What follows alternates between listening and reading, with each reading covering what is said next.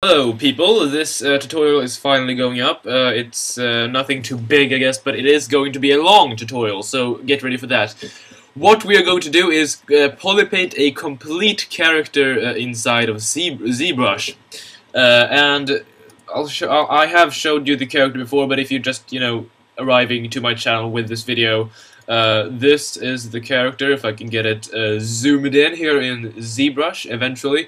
Here's the character, as you can see, uh, it's both uh, organic parts here and um, there are also these mechanical, more metal-like parts. And all of these parts were poly painted in ZBrush and I have recorded pretty much everything of it and I'm going to show you it.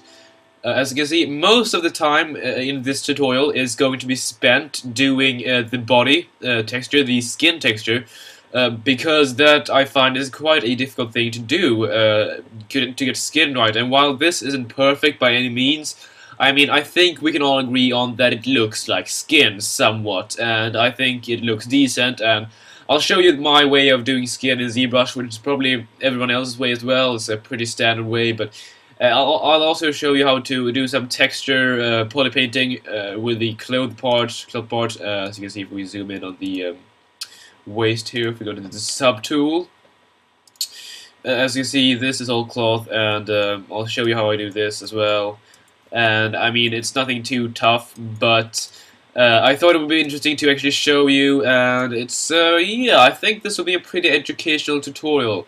However, uh, the entire sped up, I think I sped up the video about 800%, uh, which isn't as fast as I usually do it, uh, but I want it to be a bit slower because I want you people to be able to learn a bit more. One of the main criticisms criticism of my previous tutorials are, well, previous time-lapse videos, are that they are too fast and that you can't, you know, check what I'm doing or, you know, follow along quite good, and therefore I didn't speed this up as long uh, or as fast as I usually do, and how I mean that's all good. You probably um, are going to be able to see much more. However, uh, that means this video tutorial series is going to be about six or seven parts because the final sped up video is about an hour long. So I mean, I hope you won't, you know, cry over it. I mean, it's nothing too awful to watch through if you're interested in, interested in this stuff. I have spent some time recording this, and I've just figured, you know, maybe you people would like seeing it. So, I mean, before I go, uh, yeah, this is the model. It's it's not too high poly actually, as many of you probably know. Uh, you need quite a high poly count to uh, be able to poly paint uh, properly in ZBrush.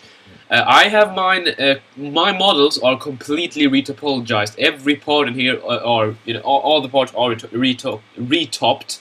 As you can see, if I turn the body, for example, down to one and you know isolate it, you can see that this is completely retopped. It's quite a clean mesh and uh, I did this all in ZBrush as well. I didn't record it though, but this means that when I, I don't have to subdivide it a lot of times to get a good uh, topology and a lot of uh, good polygon uh, distribution, I just have to, you know, uh, use this and subdivide it. As you can see, if I go up to the level I have it on finally, which is 6, uh, we have quite dense poly counts here, and I mean the body is 1.8 million 1.8 million polygons, which is quite a lot, but not not too much considering everything.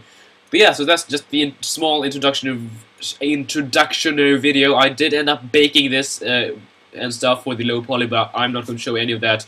This is just strictly the poly painting part, and let's get to the tutorial, shall we?